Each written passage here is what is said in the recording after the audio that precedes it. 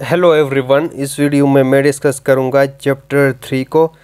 That is about equivalence and equivalent effect and particularly we will be focusing on Eugene Nida का जो model है, वो important है। Exam point of view से सो उसके ऊपर फोकस करेंगे। So begin with the basic concept की इक्विवेलेंट का क्या कॉन्सेप्ट है? सो so, इक्विवेलेंट कहा जाता है जब आप ट्रांसलेट करते हो एक लैंग्वेज को दूसरे लैंग्वेज में तो उस लैंग्वेज की स्ट्रक्चर फॉर्म्स और फीचर्स दूसरे लैंग्वेज में इक्विवेलेंट या सेम रहते हैं कि नहीं रहते? सो so, ऑब्वियसली नहीं रहेंगे। सो so, ये एक प्रॉब्लम आ जाती है इशू आ जाती है इक्विवेलेंस का।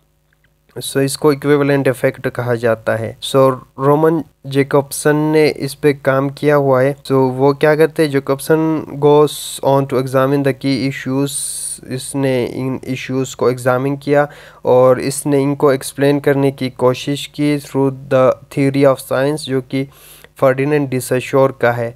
ठीक है? The relation between the signifier and signified उसको स्टडी करके यू नो कि किस तरह लिंग्विस्टिक फ़ीचर्स को मेंटेन किया जाए दूसरे ट्रांसलेटेड लैंग्वेज के अंदर। इस चीज़ को डिकोड करने की कोशिश की थी। And then Jakobson then moves on to consider the thorny problem of equivalence in meaning equivalence in meaning का भी प्रॉब्लम आ रहा था ट्रांसलेशन के अंदर between words in different languages के अंदर।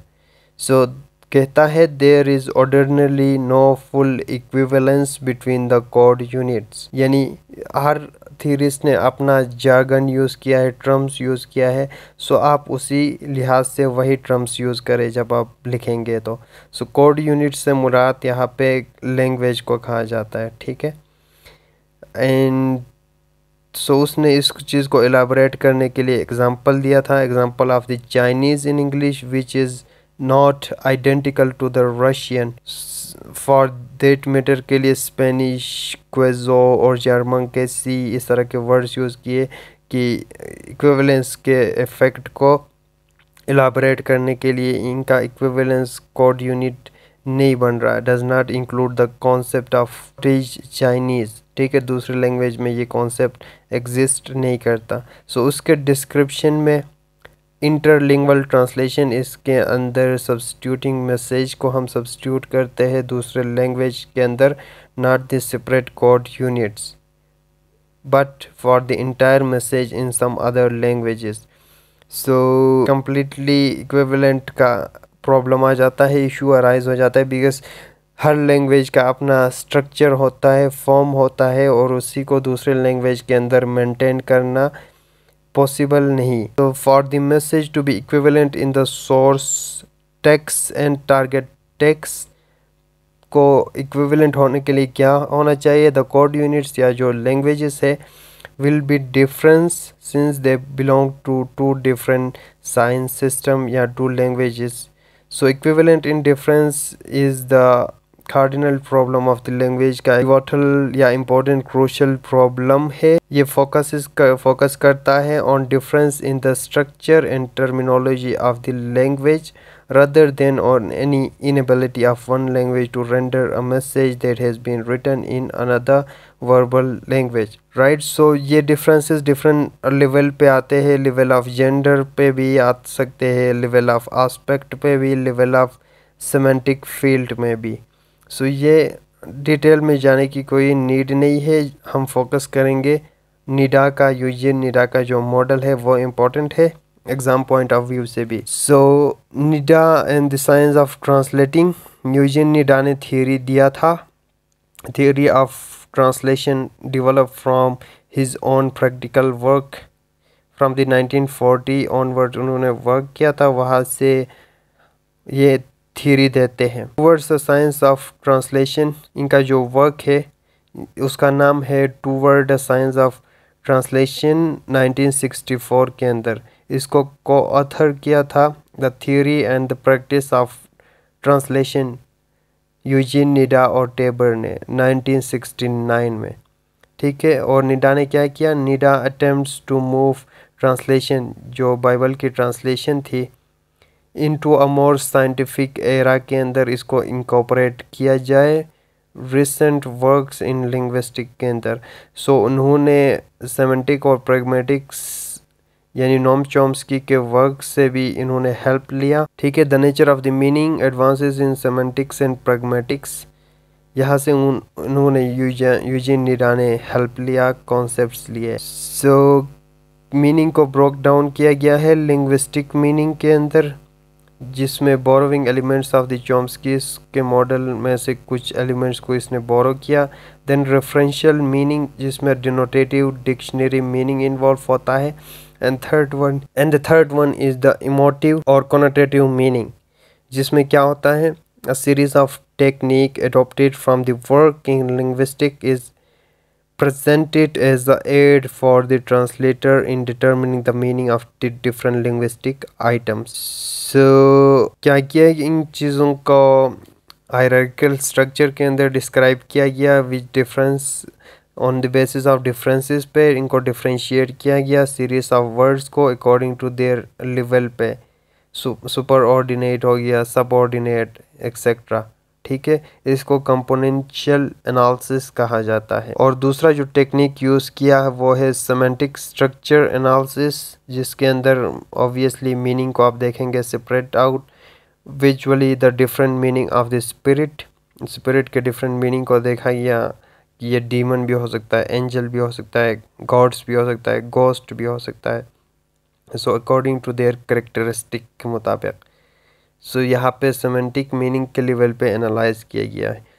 सो मूविंग ऑन चॉम्सकी के मॉडल से किस तरह हेल्प लिया? यूजिन निडा ने चॉम्सकी का नॉम्स चॉम्सकी के थ्योरी का क्या इन्फ्लुएंस रहा इस पर सो चॉम्सकी जनरेटिव ट्रांसफॉर्मेशन जो मॉडल था ये एनालाइज करता है सेंटेंसेस को in the series of related levels which are govern by the rules so syntax के अंदर आपने पढ़ा होगा so you have a better idea about the eat phrase structure rules जो कि जनरेट करता है डीप स्ट्रक्चर्स को and then transform by transformation rules के थ्रू उनको हम ट्रांसफॉर्म करते हैं। टू अनदर या जैसा कि एक्टिव से पैसिव में और प्रोड्यूस करते हैं final surface structure so the most basic of such structures में से इनको कर्नल स्ट्रक्चर्स कहा जाता है या जो कि सिंपल एक्टिव डिक्लेरेटिव सेंटेंसेस होते हैं। ये सिंटेक्स के अंदर आपने पढ़े हुए सो so, इन कॉन्सेप्ट से निदा ने आइडिया लिया and Nida sees that it provides the translator with a technique for decoding the source text and procedure for encoding the target. So, although Nida ने क्या किया निदा ने रिवील रिवर्स किया Chomsky इस model को जब analyse कर रहा था सोर्स टेक्स्ट को। So the surface structure of इस सोर्स टेक्स्ट को एनालाइज किया गया। Basic elements of deep structure के अंदर इनको ट्रांसफ़र किया गया। ट्रांसलेशन प्रोसेस के थ्रू एंड देन रिस्ट्रक्चर किया गया सेमेंटिकली और stylistically into surface structure of the target text के अंदर। सो so, तीन स्टेजेस इन्वॉल्व होने लगे। This three stage system of translation जिसके अंदर पहला है एनालिसिस ट्रांसफ़र और रिस्ट्रक्चरिंग जो कि हम टेबल के अंदर देखेंगे इसको तीन प्रोसेसेस को। So this is the table जिसके अंदर तीन प्रोसेसेस इन्वॉल्व होते हैं। Nida's three stage system of translation the first में आपके पास सोर्स लैंग्वेज होगा सोर्स टेक्स्ट होगा, ठीक है, जिसको हमने ए नाम दिया। जैसे फॉर एग्ज़ाम्पल आप इंग्लिश ले लें इंग्लिश का कोई वर्ड ले लें हेलो एंड देन इसको हम एनालाइज करेंगे लैंग्वेज के फॉर्म को देखेंगे, ठीक है तो हमें पता चलता है कि ये एक इनफॉर्मल ग्रीटिंग है। एंड देन इसको हम ट्रांसफ़र करेंगे second process into another structure जो कि वाई फिर इसको रिस्ट्रक्चरिंग करेंगे थर्ड प्रोसेस के अंदर। और हमारे पास टारगेट लैंग्वेज आ गया रेसिपियन लैंग्वेज के अंदर निहाव जो कि चाइनीज़ है। ठीक है सो ये तीन प्रोसेसेस इन्वॉल्व होते हैं। सो so, इसके अंदर क्या आता है? It involves the analysis using the generative transformation grammar और four types of the functional classes इसके अंदर इन्वॉल्व होते हैं। इवेंट्स आते हैं। Often not always perform by the verbs then objects perform by the nouns abstract including the adjectives and relationals जिसके अंदर gender proposition and congestion आए गए साथ एक और थीरिस्ट ने काम किया था। इन्होंने जो को ऑथर एक वर्क भी किया था। So Nida and Taber they claim that all languages have between six and a dozen basic kernel structures होते हैं। सो कर्नल वो लेवल है जिस पे मैसेज को ट्रांसफ़र किया जाता है into recipient language before being transform into surface structure in three stages जिसमें लिटरल ट्रांसफ़र हो गया मिनिमल ट्रांसफ़र और सो so, निडा का सेकेंड जो कॉन्सेप्ट है ये बहुत ही इम्पोर्टेंट है फॉर्मल एंड डायनामिक इक्विवेलेंस और प्रिंसिपल ऑफ़ इक्विवेलेंट इफ़ेक्ट ये बहुत ही इंपॉर्टेंट कॉन्सेप्ट है। एग्ज़ाम में अक्सर आता रहता है ये क्वेश्चन द ऑल टर्म्स जिनमें हमने देखा था literal free translation faithful translation इनको हमने एग्ज़ामिंग किया हुआ था। इनको निदा ने डिस्कार्ड किया। In the favour of two basic orientation या टाइप्स ऑफ़ इक्विवेलेंस जो कि फॉर्मल इक्विवेलेंस और डायनामिक इक्विवेलेंस है। ये जो न्यू टर्म्स है ये निडा ने यूज़ किया। सो इनसे क्या मुराद है? इनका क्या मकसद थे वो हम देखेंगे। फॉर्मल इक्विवेलेंस ये फोकस करता है on the message it's in both the form और कॉन्टेक्स मैसेज के ऊपर फोकस करता है, उसके फॉर्म और उसके कॉन्टेक्स के ऊपर। Formal equivalence is thus keenly oriented towards this source text structure so so, इसके अंदर हम एनालाइज करेंगे सोर्स टेक्स्ट के स्ट्रक्चर को विच एग्जर्ट करता है strong influence in determining the accuracy and the correctness so most typical इसके अंदर जो है इस काइंड ऑफ़ ट्रांसलेशन इसके अंदर ग्लॉस ट्रांसलेशन है। फॉर्मल इक्विवेलेंस के अंदर most typical example gloss translation की है। जिसके अंदर हम एग्जामिन करते हैं approximation of the source text के स्ट्रक्चर को।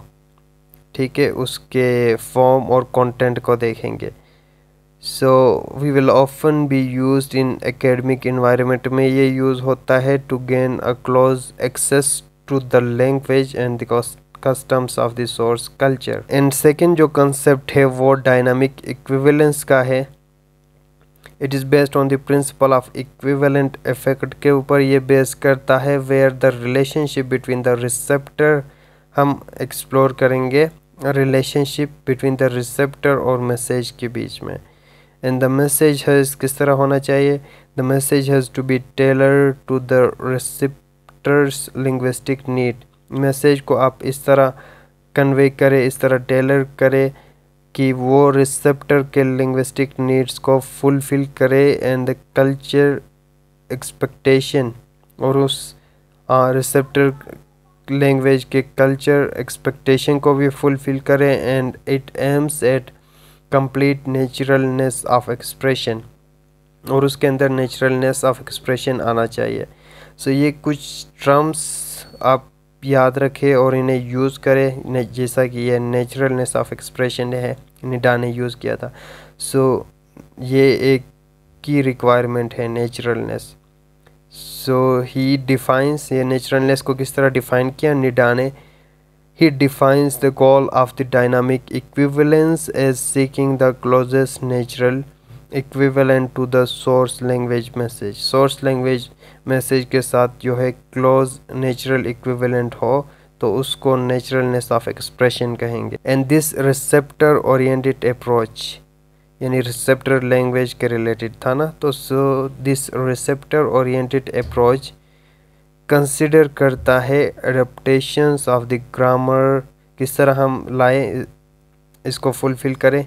By considering the adaptation of the grammar को अडोप्ट करेंगे लेक्सिकॉन को कल्चरल रेफरेंसेस को to be essential in order to achieve this naturalness इस नेचुरलनेस को अचीव करेंगे। सो so, निडा क्या कहता है? For Nida the success of the translation depend करता है ऑन अचीविंग इक्विवेलेंट रिस्पॉन्स जब हम ये किस चीज़ के ऊपर डिपेंड करता है depends on the achieving equivalent response को। और इसको हम किस तरह अचीव कर सकते हैं? By making sense by conveying the spirit and the manner of the original और having a natural and easy form of expression and producing a similar response importance of Nida's work को देखा जाए तो इसकी क्या इम्पोर्टेंस है? पहला importance इसकी ये है कि it play key role play करता है। इज़ टू पॉइंट आउट करता है the road away from the strict word for word equivalence से and his introduction of the concept of formal और डायनामिक इक्विवेलेंस का कॉन्सेप्ट देता है निडा इसका थियोरी जो कि क्रूशल है ट्रांसलेशन स्टडीज़ के अंदर। So in introducing a receptor base यानी रीडर बेस या रीडर ओरिएंटेड थ्योरी देता है ट्रांसलेशन थ्योरी सो ये इम्पोर्टेंस थी निदा के थ्योरी का। So this is all about this topic thank you for watching